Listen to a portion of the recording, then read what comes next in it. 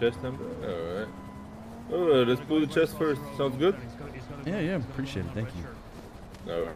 I'm just gonna put some numbing gel. him up, you're gonna get beat. Oh, Oh my God, is that the Flash? Is It it is the me, the Flash? Flash. It's me, the Flash. It's the Flash. Bro, I'm so fucking wall. oh,